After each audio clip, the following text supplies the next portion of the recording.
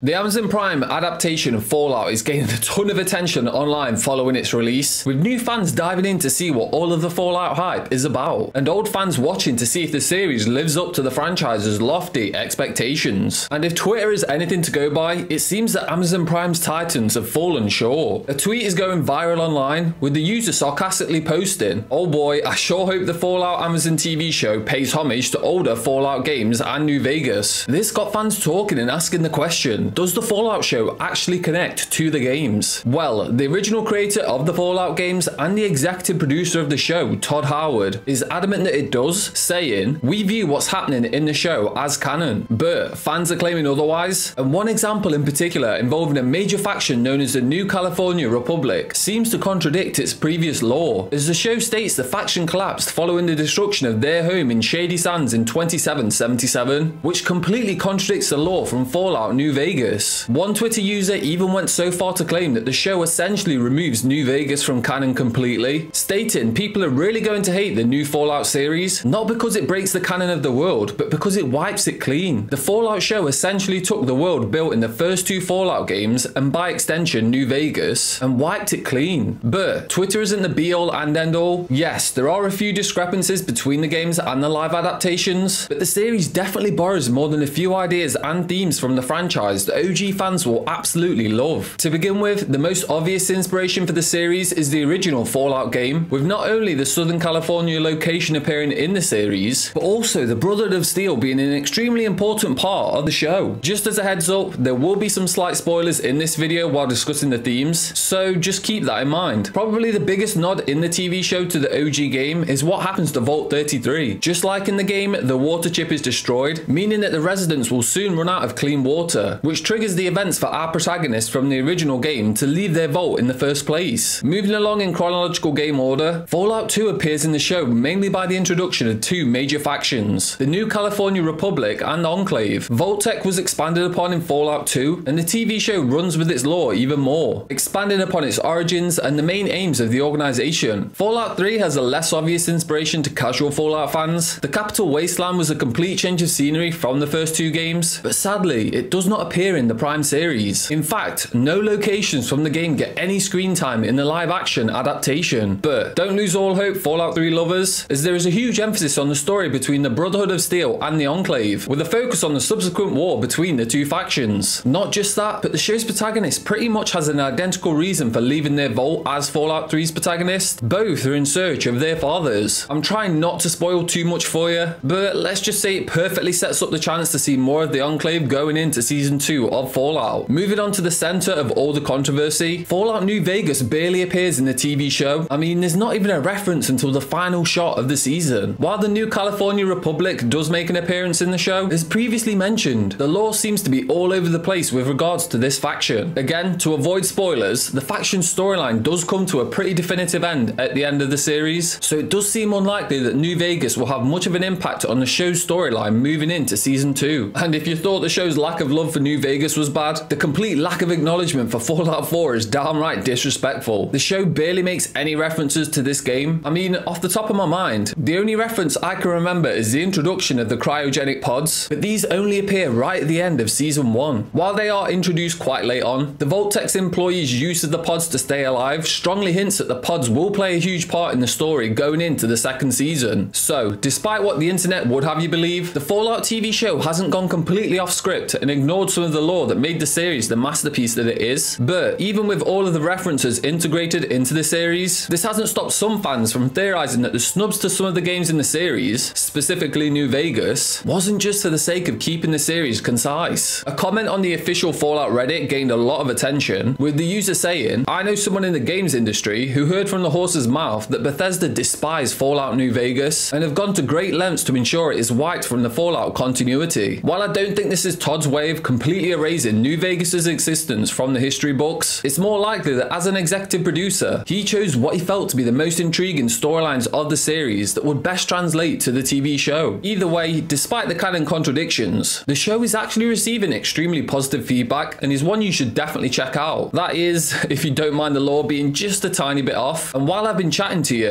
YouTube's algorithm has been cooking up the perfect video from our vaults just for you. So why not go check it out?